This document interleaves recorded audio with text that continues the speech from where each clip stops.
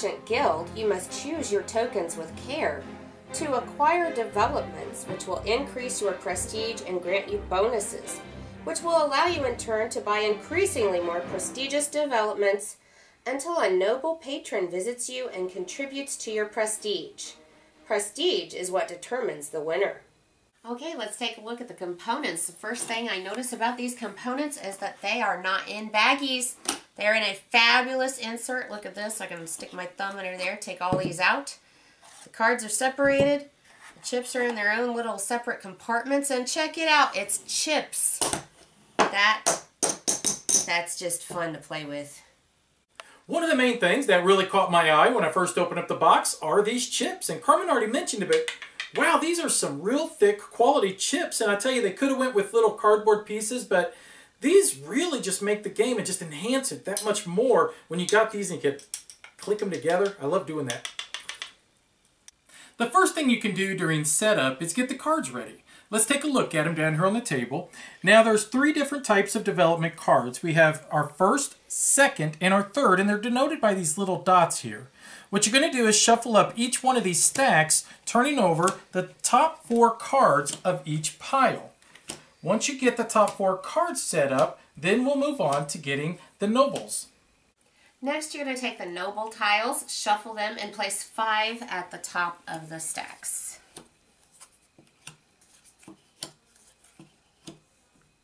You can now see all of the nobles that anyone is going to be able to acquire during the game. The rest are put back into the box. The number of nobles is going to be dependent upon the number of players in each game. The last thing you need to do for setup is take all your chips and then you're going to put them down at the bottom of the board in all their piles. So we've got our gold, black, red, white, green, and blue. One thing to note, depending on the number of players, will determine on how many gems would be available throughout the game. So for instance, in a two-player game, which we've played the most of, there would only be four of each one of the color of the gems available. However, there will always be five gold pieces no matter how many players are playing in the game. Let's talk about the possible actions you could take on your turn. Uh, the first one is that you can just choose three different colored gems to take and add to your supply. Now keep in mind you're only allowed to have 10 total tokens between your gold and your gems. So if you get more than that, you're going to have to choose what to discard. The next possible action you could take is taking two gems of the exact same color. However, there's a rule to this. If you perform this action, there has to be at least four gems of that color remaining, which means that in a two and a three player game, you're never going to be able to perform this action. However, take a look down here and I'll demonstrate. So if I wanted to, I could take two of these blue gems, add them to my supply, and if you notice, there's still five left, so I'm okay, and I can use these to hopefully get development cards, which we'll cover that in just a minute. Another action you can take is to reserve a development card. In each case, I'm going to be able to take a gold coin and then reserve my card. Let's say I have my heart set on this one. I even put it in my hand so my opponents cannot get it. Or, let's say I really need a red card and there's none available. Maybe I'll just take a card blindly from the top and hope that I get what I need. Now, if there's a card that you have your heart set on, don't forget, you can always take it and put it in your hand, and that keeps any of your opponents from taking it from you. And then you're going to get the gold, which is pretty valuable in its own right as a wild card. The next possible action you can take is, is purchasing a development card from the center of the field or possibly from one from your hand that you've gained. So let's take a look at this and I'll demonstrate what I mean. I currently have two blues, two whites, and a red. Well, I want to purchase this card right here. And if you notice, it requires two whites, two blues, and a red. So I'm going to take all of my gems, put them back over here at the bottom of the board, and I'm going to take this card and place it in front of me, replacing it with the next card in the stack. Now, gaining these development cards are beneficial in two ways. Number one, each of them is always going to have a gem at the top, which is going to help you to try to acquire more development cards. But on top of that, some of them are going to even have VP in the corner of them to where you can also be able to gain the prestige points you need because whoever gets the 15 first wins the game. Okay, now I already have a lot of gem cards and I'm wanting to go for this card here which requires one green, four red, and two black. So in order to do that, first I'm going to see I already have two red, so I'm going to add two more. I already have the green, I have one black, so I'm going to have to add one a black gem, and so that's all I have to pay in order to obtain this card. Now, playing this game is not complicated.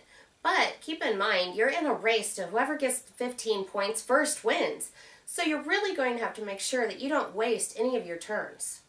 Nobles require no actions to be able to obtain them. However, you're only able to obtain one noble per turn. And let me demonstrate to you on how that would work. At the beginning of my turn, let's say that if I wanted to try to purchase another card.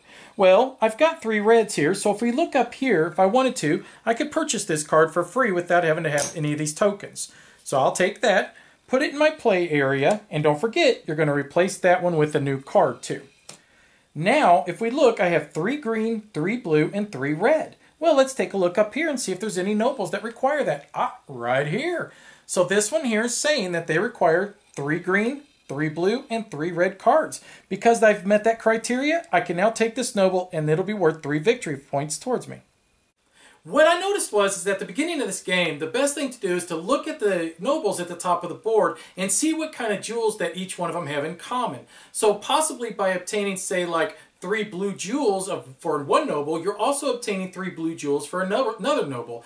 And those become the most prestigious jewels throughout the game because you're going to find that you and your opponents will be fighting over that particular color. So if all of them, say, need a red jewel, well, then obviously red jewels are very valuable, so each of you need to make sure that you're hogging up as many red jewels as you possibly can. Okay, so I've acquired 15 points, which then triggers end game.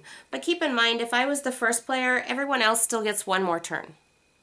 All right, so that's how you play Splendor by uh, Space Cowboy, or Asmodeus, who actually sent it to me. Now, um, what do you think? Uh, I just gotta say, you know, I really enjoy playing the game, and it's not because it's got some crazy theme smacked on it, but I just really enjoy the gameplay, and I think the components really add to that enjoyment as well. Yeah, I think that Splendor is a splendid game, and not just in the uh, components, but in the gameplay itself. Um, I think that what you're looking at here is I don't know why, but I feel like it's a cross between Lost Cities because you're trying to collect these sets of right. the same gems, which will hopefully be able to gain you more and more prestigious gems or, or development cards. Um, and then it also makes me think of Rise of Augustus, which is another Asmodee game because you're able to obtain the um, noble tiles, which just like yeah. in Rise of Augustus, you gain those prestige points from the tiles, you know, by gaining sets right, whatnot, and, so. and you see the goals that you're going for. Um, mm -hmm. And uh, yeah, the set collecting part of it, I think, is really greatly enhanced by the fact that it's not just the cards. That you've got the uh, gem tokens that you're dealing with yeah, So you have development cards, and gaining the development cards help you get the more expensive development cards, which in turn will get you more prestige quicker. So right. we've had turns before where, I mean, somebody scored eight points in one turn. I mean, it's just that's how crazy this game can yeah. get. And I really like the flexibility in that uh, it's not just the nobles that give you points, but you can gain yeah. your gem bonuses at the same time as you're gaining points off of the cards. And what I've noticed is, is that don't go crazy trying to save up a ton of gems and uh, think that you're going to be able to get one of the tier 1 development cards, oh, or, or the tier 3, I'm sorry. Always start at tier 1 yeah. and just build yourself up because in the long run, this isn't a sprint, it is somewhat more of a marathon, and you're going to do much better the more cards you have in front of you versus, say, I have, you know, five, six cards in front of me, but ooh, I got seven points, you're not going to get too far. you're just not. As long as your opponent has, say, 12 cards, because they've been slowly building up. Right, right. Your opponent slowly builds up while you're you think you're grabbing everything because you're using your gems. Mm -hmm. That doesn't necessarily work well in the long run. Not necessarily equate to a victory, and I found right. that out the hard way. And in fact, um, when we first started playing, it was kind of like we were trying to go for those second, you know, third tier gems yeah, yeah. as fast as we could, and then we found no, just take your time, work on the one tiers build yourself up slowly. Try to get at least two if you can of each color. And oh boy, you're going to do great throughout the rest of the game.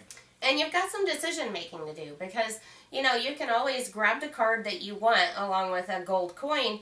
But at the same time, if you're using your turn for that, where, you know, you don't necessarily have to use your turn for that. You could right. be getting more of the, uh, tokens. Tokens, yeah. Mm -hmm. Yeah, so you know that's a that's kind of a hefty decision to make there. Overall, I think this is a fabulous game. I like it a lot. It was a surprise. This game was not even on my radar when it showed up on the doorstep. I looked at the box, thought, no, okay, looks fine.